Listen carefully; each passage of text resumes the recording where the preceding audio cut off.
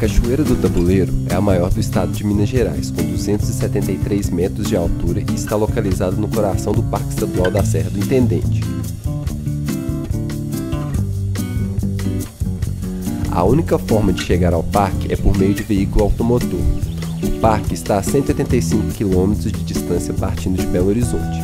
Se você não está de carro, é possível chegar ao distrito de Tabuleiro de ônibus, porém terá que pegar duas condições: uma de Belo Horizonte até o município de Conceição do Mato Dentro e na rodoviária de Conceição pegar a outra até o distrito de Tabuleiro. A cachoeira é apenas uma das atrações turísticas que podem ser visitadas no parque que abriga uma grande biodiversidade.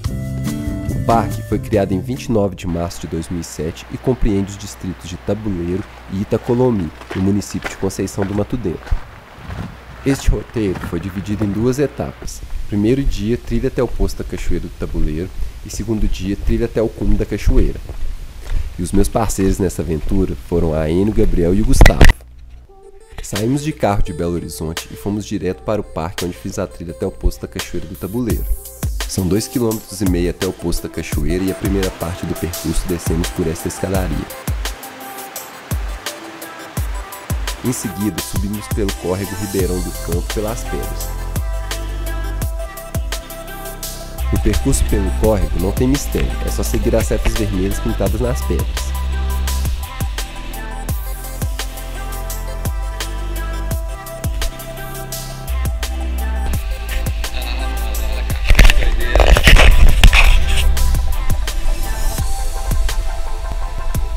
Na portaria, você terá que pagar uma taxa de 10 reais por pessoa para entrar no parque. Guarde esse bilhete, porque você irá precisar dele caso queira voltar ao parque no dia seguinte sem pagar novamente a taxa. Lá na portaria, você também encontrará bebedouros e caso não saiba nadar, é possível conseguir um colete salva-vidas. O poço tem aproximadamente 18 metros de profundidade e tem corrente. A menos que seja um nadador profissional, não aconselho tentar atravessá-la a nado. O melhor é ir nadando próximo às bordas até alcançar a queda da cachoeira. O parque funciona até às 17 horas, por isso retornamos por volta das 16 para montar acampamento. Existem várias opções de camping no distrito de Tabuleiro. Nós optamos pelo camping Poço Faria.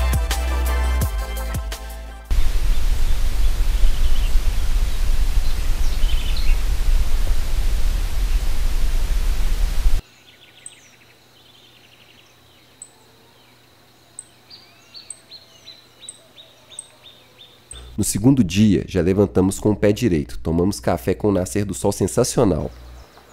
Em seguida, hora de desmontar o acampamento e retornar até a portaria do parque.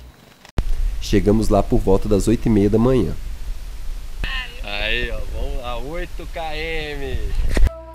Esta trilha possui no total 16 km, ida e volta. Vá preparado, leve muita água e lanche. Já no início da trilha, damos de cara com o mirante da Cachoeira do Tabuleiro, parada obrigatória para tirar fotos.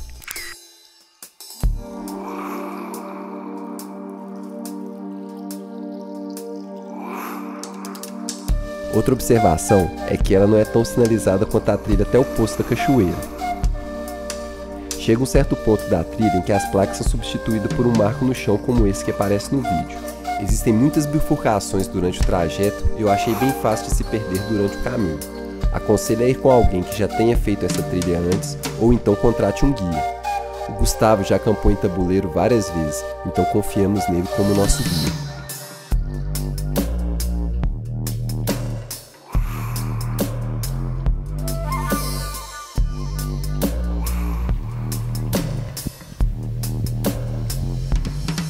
Seguindo o percurso, nos deparamos com lindas sempre-vivas e a paisagem do alto da Serra do Espinhaço é sensacional.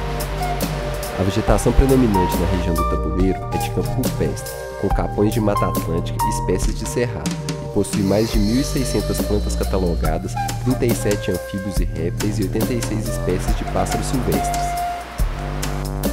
Quando nos aproximamos do cume da cachoeira, o córrego forma um pequeno cânion com vários poços para nadar e quedas d'água com a cor caramelo.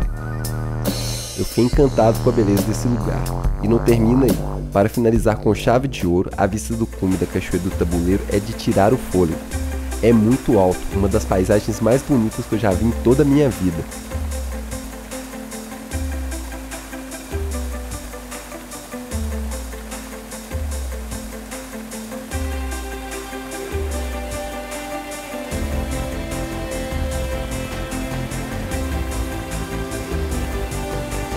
E aí, o que achou dessa trilha? Deixe um comentário e não esqueça de se inscrever no canal e clicar no sininho para receber as notificações.